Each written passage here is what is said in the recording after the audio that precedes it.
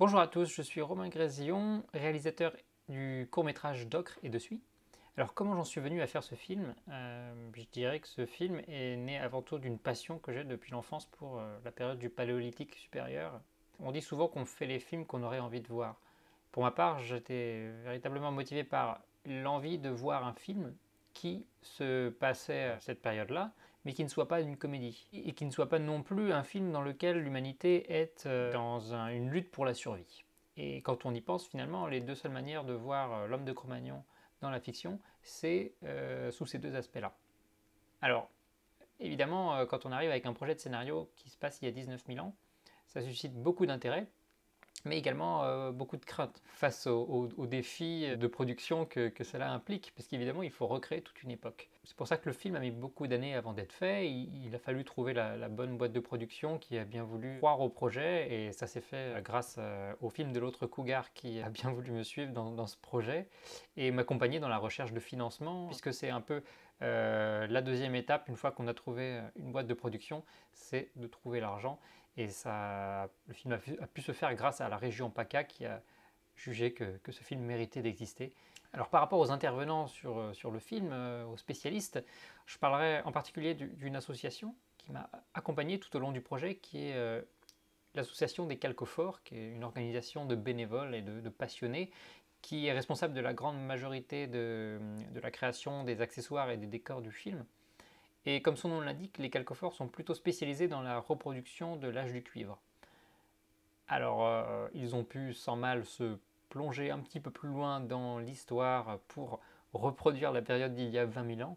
Je dirais que ce qui était important pour moi, c'était de m'entourer de personnes qui aient euh, déjà la, passion du travail bien fait, la, passion pour la, reproduction, pour euh, l'histoire, pour la préhistoire, et qui soient assez scrupuleux dans le détail.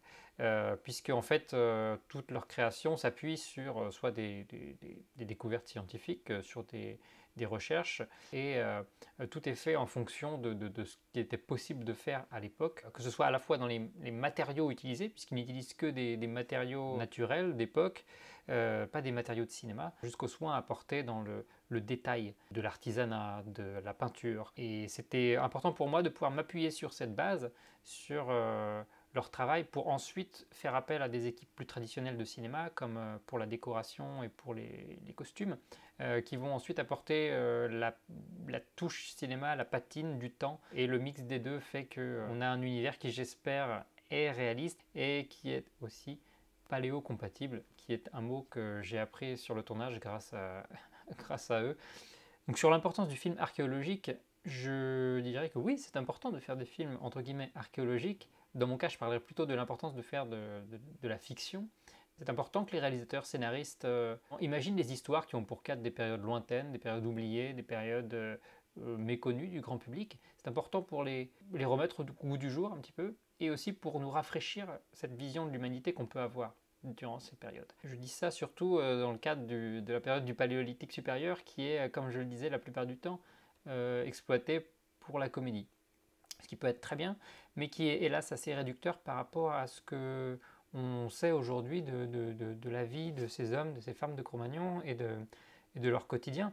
Or, il y a énormément d'autres aspects qu'on peut montrer par la fiction, et notamment si on s'appuie sur les, sur les connaissances scientifiques qu'on peut avoir de cette période, on se rend compte que l'image qu'on a de l'homme de Cro-Magnon aujourd'hui, elle est énormément influencée par la fiction, et une fiction qui euh, colporte des clichés qui, hélas, euh, pour la plupart datent de plus d'un siècle, malgré le fait qu'on euh, remette en cause en permanence cette vision de l'homme préhistorique.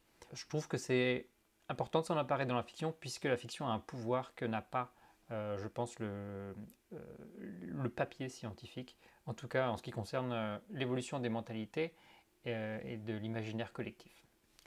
En conclusion, je dirais que je suis vraiment triste de ne pas pouvoir être présent puisque cette présentation au festival aurait dû être une première publique pour le film. Elle n'aura pas lieu, hélas, elle aura lieu par écran interposé, mais j'espère en tout cas pouvoir être réinvité pour découvrir le festival de Narbonne qui a l'air formidable. Et voilà, peut-être l'année prochaine. Merci beaucoup.